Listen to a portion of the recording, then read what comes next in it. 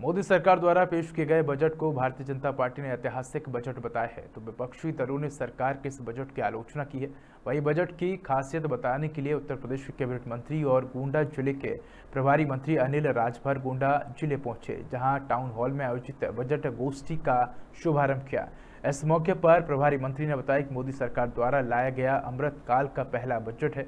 उन्होंने कहा कि यह बजट बहुआयामी है और जन उपयोगी है, जिसके माध्यम से हर वर्ग के लोगों को बहुत बड़ी राहत मिली है और साथ ही मध्यम वर्ग के लोगों को बड़ी राहत मिली है। साथ ही गरीबों नौजवानों और किसानों के लिए सरकार ने बहुत कुछ करने का प्रावधान किया है। पूज्य मोदी जी की सरकार ने अपना बजट प्रस्तुत किया है। पार्टी ने भी ये तय किया है सरकार ने भी ये तय किया है कि जो बजट आया है उससे आम जन को जोड़ा जाए। उसी क्रम में आज गोंडा आना हुआ।